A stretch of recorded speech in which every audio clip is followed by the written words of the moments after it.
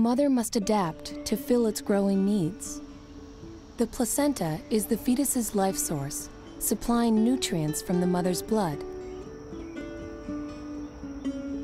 The mother's heart must work extra hard to pump the increased volume of blood through her system, so anything she does to keep her heart healthy will keep her fetus healthy too. Walking is good exercise, keeping the supply of blood to the placenta rich and plentiful.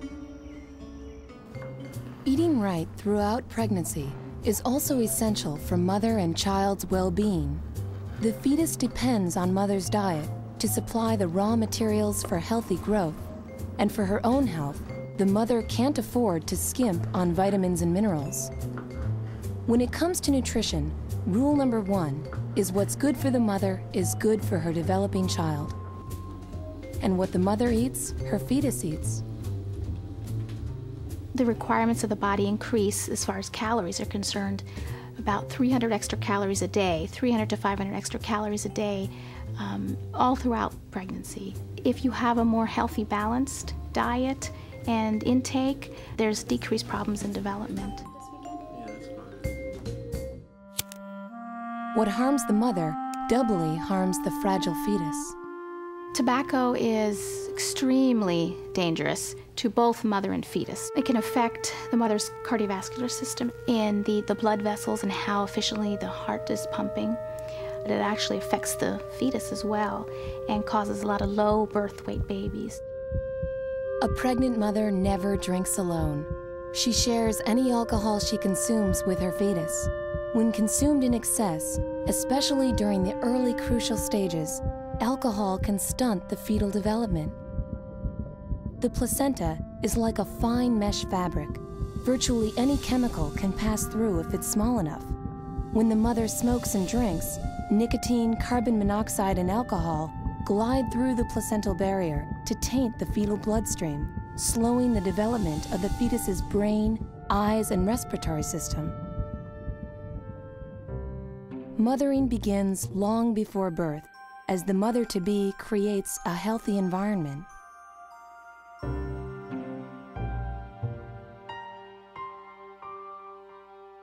the beginning I was really happy and then I went through a period where I was scared and I was like, oh my God, I can't believe I'm doing this. And but um, then I realized that you know I'm I am doing it, so you can't be scared. You just gotta.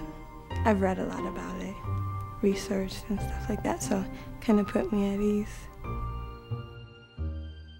At the end of the third month of pregnancy, the mother's body finally begins to reflect the remarkable changes inside.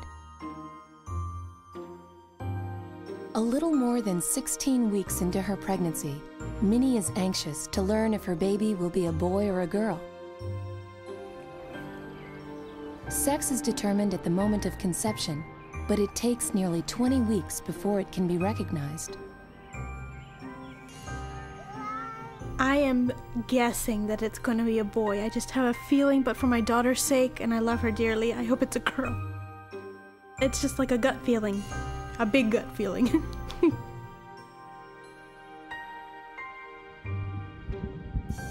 this tiny fetus, nestled deep inside mom's womb, continues its transformation. It's just three and a half inches long, but there's no mistaking that it's human. The tiny face of this fetus looks as if in deep slumber.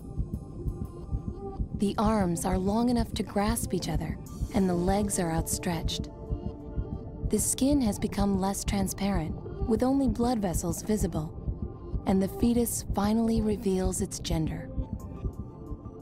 Here we can actually see as the baby allows us to, as we move. Minnie and her family have looked forward to this day for nearly 20 weeks.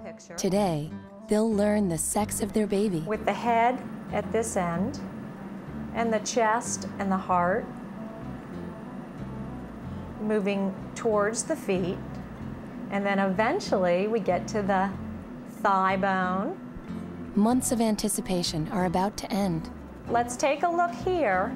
And this one's fairly obvious. So do we want to know what the sex is? yes. yes. Okay. The male and female sexual organs start identically as a small nub between the fetus's legs. Two small bumps, one on either side of the nub, soon emerge. If this fetus is a boy, the nub becomes a penis. The two bumps grow together to form a scrotum. The boy's developing testicles are still deep inside his body. Within them, primitive sperm are already developing. If this fetus is a girl, the nub becomes a clitoris. A vagina forms from the same tissue that forms a urethra in both sexes. Inside her tiny ovaries, all the eggs she will have for her entire lifetime are already forming. I want you to focus in between the legs. well, what do you think? What do we think? A boy? That's right. That's right. It. Oh, there's the picture right there. My goodness gracious.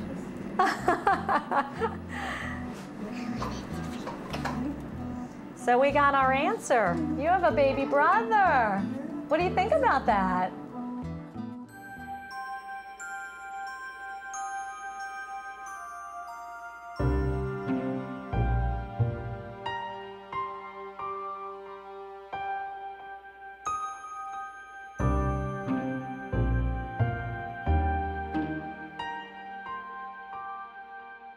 The only growth spurts that I felt was last month where I was small and all of a sudden I gained. Like in a week, I gained six pounds and it just pushed right out. It was just really weird. What happens is the top half of the uterus um, expands.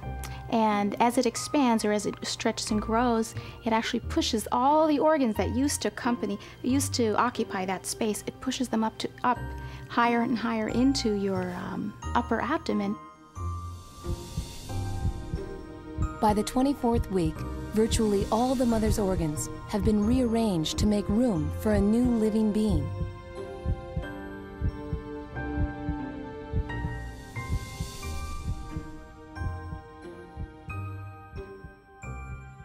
But rather than discomfort, Nancy feels euphoric about the child inside her and the astounding changes of her own body.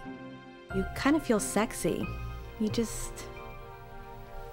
It's a different feeling. It's a different feeling. And I don't think anyone understands. Either you feel good and you feel sexy and you kind of just, I guess, walk the talk. I don't know. just a fabulous feeling.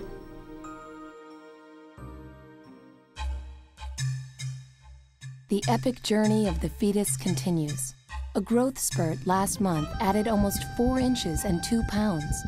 Now, at more than a foot long and two and a half pounds, the fetus seems eager to explore its cozy womb. As if reacting to private thoughts, expressions wash over the face. The fingers and toes are fully formed now, complete with nails and fingerprints. And the entire fetus wears a furry coating. The hair, called lanugo, follows the patterns of the connective tissue, covering the fetus in swirls and spirals of down. The skin bears a waxy coating called vernix caseosa. It protects the fragile fetal skin from the amniotic fluid and infection and will aid the fetus during the dramatic squeeze through the birth canal. Nancy is learning to cope with her new lack of grace. The size and weight of her belly requires new ways to perform her daily routine. It was easy when I bent down, I could keep my balance. I'm not keeping that balance anymore. The stomach's a little heavier, so I'm not sure which way I'm to go. Nancy isn't alone in her struggle for comfort. For the first time, she can feel with excitement her baby to be growing restless. As the life inside her starts to fidget and kick, Nancy's body responds. As Nancy's body prepares for labor, her uterus practices Braxton Hicks contractions, named for the doctor who first observed them. These irregular contractions are not as intense as those of true labor, but to Nancy, each breathless pang feels like the flutter of butterflies. Braxton Hicks contractions are